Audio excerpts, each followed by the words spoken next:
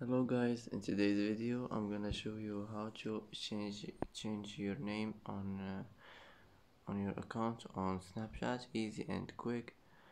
Uh, first uh, click on settings. And now you, you will see here name. Click on it. And here uh, uh, you can enter your name. You can just click remove name and click uh, uh, type your name uh, your new name and that's it for today.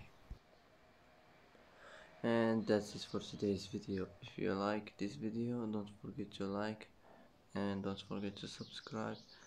Uh, i hope this video is helpful for you. And thank you for watching until the end. And see you in the next video